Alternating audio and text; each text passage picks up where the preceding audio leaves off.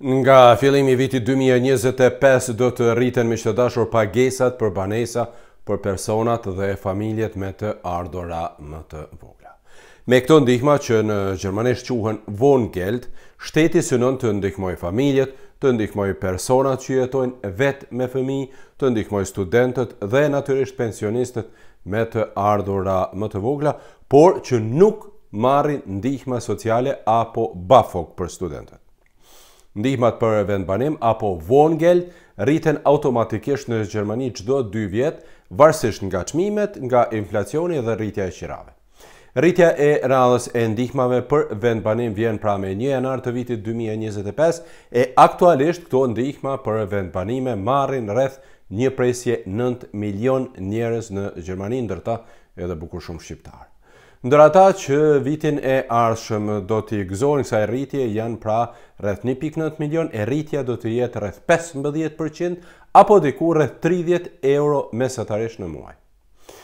Këto vendime janë marrë sot nga qeveria përmes një procedure të deklarimit me e-mail, sepse shumë ministra aktualisht janë me pushime.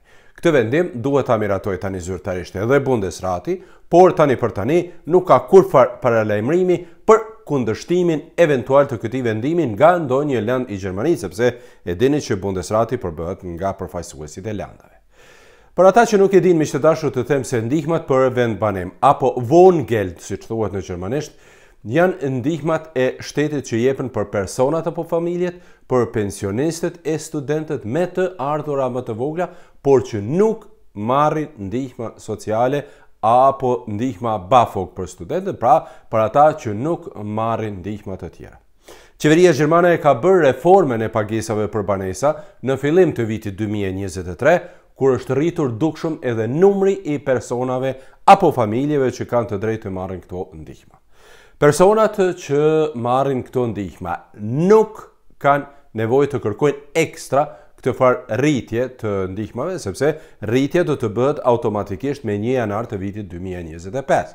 Por, të kuptohemi, çdo person që i merr këto ndihma, duhet të dërgojë një herë në vit, dëshminë se akoma ka të drejtë t'i marrë këto ndihma. Ndërsa, pak para skadimit të afatit prej 12 muajsh pra sa i jepen këto ndihma, personi duhet të mbushë një formular dhe të kërkojë prapë vazhdimin e ndihmave. Prandaj, për të mos i humbur eventualisht këto ndihma, ju rekomandoj patjetër që të interesoheni edhe vetë dhe të pyetni në entin se ku i merrni ato, sepse këto ndihma nuk janë pra edhe aq të vogla. E kur jemi tek sasia e ndihmave të them se ndihmat për vendbanim, pra për Wohngeld, janë aktualisht rreth 370 euro në muaj mesatarisht. Ndërsa, Me një janar do të rriten pra në rreth 400 euro në muaj mesatarisht. Por, lartësia e ndihmave varet edhe nga lartësia e të ardhurave, nga lartësia e qirasë, nga numri i personave në familje,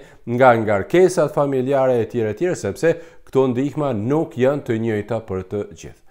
Nëse jeni të interesuar, ju natyrisht që mund të gjeni edhe vetë në internet një farë lloj përllogaritësi, që në gjermanisht quhet Wohngeldrechner dhe të shikoni nëse keni të drejtë t'i merrni këto ndihma apo jo. Pra, mund ta bëni llogarinë vetë në internet. Ndryshe, këto ndihma nuk u takojnë personave që marrin ndihma sociale pra Bürgergeld apo studentëve që marrin BAföG, më duket se e thashë edhe pak më parë. Sidoqoftë, për personat që kanë të drejtë të marrin këto ndihma, ato do të rriten me 1 janar të vitit 2025 për pesëmbëdhjetë për qind, ndërsa nëse keni të drejtë t'i merrni këto ndihma apo jo, duhet të shikoni edhe vetë në internet, sepse kjo varet nga shumë faktorë të cilët i përmenda pak më parë, e po e them edhe një herë, siç janë për shembull të ardhurat, pastaj personat që jetojnë në një familje, e tjera e tjera. Sidoqoftë,